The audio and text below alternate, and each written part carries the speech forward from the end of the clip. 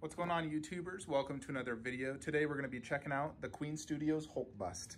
So part of my transition to upgrade my collection to Flankster's Cave 2.0 is getting rid of the old Polystone comic statues and statues that I don't love quite as much and upgrading to the new silicones and whatnot.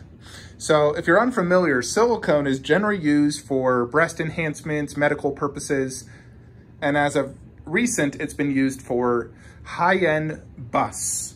Now, this is the Queen, made by Queen Studios out of China. They've been around about two years now. I own a few of their products, the Captain Marvel, Spidey, Panther, and uh, Thanos bust. And now we have Hulk bust. So this comes in two pieces if you did not see my live unboxing. Well, three pieces technically. The base, this nameplate comes off, and then Hulk is one giant piece. So Hulk is all silicone, hand-punched hair. I'm not sure if it's acrylic or resin teeth, and then glass eyes. This is a piece you'll want to display high up. You know, I'm looking at it slightly down right now, but when I'm in my statue room, that's actually my angle.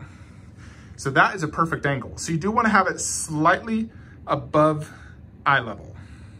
Uh, you know, same thing with Thanos, really. You want it like that angle. Because uh, from standing up, down low, that's what you're going to see. You'll want to see it like that. So definitely piece you're going to want to have higher up so you can see because the main highlight of this piece is going to be that portrait because uh, the body, you know, it's just massive, but it's not what you buy a Hulk for. You buy it for that Hulk face, that expression, uh, so this piece cost me $3,900 or $3,800. Yeah, I think $3,800 actually, to be exact. Retail on this, I believe, was about 2200 plus like shipping was quite expensive because it's a monster sized box. So I believe it goes for around 3000 3100 retail. And then I paid uh, 3800 So, you know, about six, $700 over retail. As you can see, I placed it next to the Sideshow Hulk, which was my plan, because I love doing busts next to one-fourth. Their greens are not a perfect match, but it is from different movies as well. This is Age of Ultron, and this is Infinity War, and Hulk's color did change uh, a few different times throughout the movie. But overall, they look absolutely fantastic together, especially with that Hulk nameplate, that's exclusive on this guy. So this bust stands about 32 inches tall, I believe. Uh, it's quite wide as well, as you can see. So this is on a 48 inch wide garage shelf.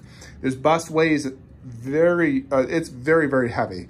The base weighs maybe 15, 20 pounds. And then Hulk himself is like 30 to 40 pounds. He's very heavy. He has a greasy feel to him. You know, when you pick him up on his side, touching that silicone, it has a greasy feel to it. Uh, so silicone uh, presents this sort of like wet look almost, like a, like a sweats. Not everywhere, but in certain areas. And that does add a sense of realism. But you know, just like, look at that ear. That looks like a real human ear. Uh, this comes with hand-punched hair. Now, this hair is not all one color. Uh, it does have some little grays uh, here and there. You know, this is when uh, from Infinity War where Hulk is older. Uh, so they did include some grays uh, throughout his hair every now and then. Uh, there is no ear hair, but I don't think I would want that. There is hand-punched hair as well for his eyebrows, uh, which as you can see has some grays. Now here is the glass eyes. And they look really good. I like the, the colors of them. They look great. It reminds me of Hulk's eyes. Here is the teeth. He does have sort of an underbite, which, you know, makes sense for Hulk. I think the teeth look great. They have more of a wet look than Thanos did. Now, Thanos, I had to gloss my Thanos teeth up because they were very dry looking, where these are more of a wet look. I wish Thanos came out like this. I think straight out of the box, these teeth are better than Thanos. Now, this one also does have like the stubble all across his face. Now more prominent here in the mustache and beard area. You know, and this is what it means by extreme detail, having actual hand punch stubble, actual glass eyes, and hand punched hair for the eyebrows and head. And then the skin texture, you know, it looks just like a human would be. All the different little pores all throughout. You know, so the body is nothing to really brag about. I mean, it's huge. There's some good muscular detail throughout here, giant traps. It is the portrait that just has that screaming Hulk in detail. That just looks absolutely fantastic. I think the green is a good color. There's hints of brown here and there, you know, like brown right there and there, around the eyes. And really depending on the lighting will affect this quite substantially. I think the likeness is perfect. It looks just like Mark Ruffalo's uh, Hulk. So definitely not a question of likeness. The hair, uh, when it comes, it was a little flat. I wet it and tried to make it go a little bit, you know, less, more fluffyish, uh, how it is in the movies. uh, they did put some sort of gel in it, as my fingers were very sticky after touching it. This one did not have tons of hair all throughout uh, the body, which sometimes you'll find with silicone when you take it out, because silicone's kind of sticky uh, that you'll find tons of little hairs all throughout the entire bust. This one did not have that issue, where my Wolverine did. So that's at least a positive. I don't like seeing the little hairs. I pick every little hair out when I see those. So let's check out this base. This is a very tall base, and that's what also gives it quite a bit of presence. That's like a seven inch tall base. It's reminiscent of the spaceship where Hulk fought Thanos. That was the concept behind the, this.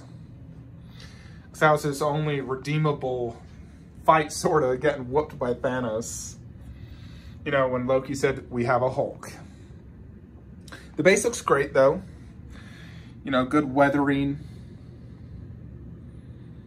The logo. I would love if they did a switch out logo that just said Hulk. I like the logos for sure, but I'd love a Hulk logo.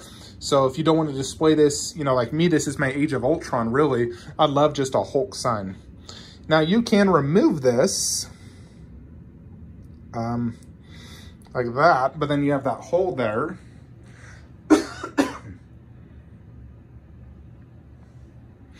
so, you know, you can see the magnet in the hole. Wonder if someone, you could even commission someone to make a logo that says just Hulk. Because that's honestly what I prefer, like that, a green Hulk. So that's one thing I would say Queen definitely could have did. Now, All right, let's check out the COA. So it talks a lot about Hulk, nine feet tall. So Queen Studios captured it, Avengers Infinity War, made of medical grade platinum silicone, artificial hair, glass eyes. So I do like these COAs. I eventually plan to put these in plaques and wall mount every single one of them. I just haven't done that yet but I will get to it. So overall, let's talk about this piece. Concept, it definitely captures Hulk. I like the pose uh, for what it is, you know, meaning his teeth grinning, you know, because when you think Hulk, you always think Hulk smash, Hulk angry, just like the statue to the left. Uh, so I do like the, the pose they chose for Hulk. The base, I do like it.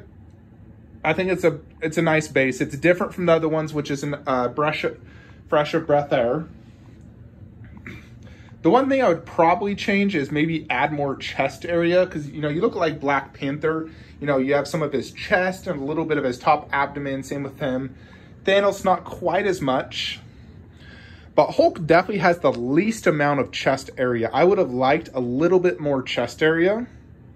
You know, if they could have somehow given you like that. Maybe make the base a little bit bigger, but, you know, if I was to make a Hulk bust, you know, ideally, if I mean, I don't know about including all of the thing, but maybe do a Y like that. Include this part of the chest, more of it. I mean, it does have some, but I would just want a little bit more, a little bit more body. And frankly, I wouldn't mind it being slightly bigger.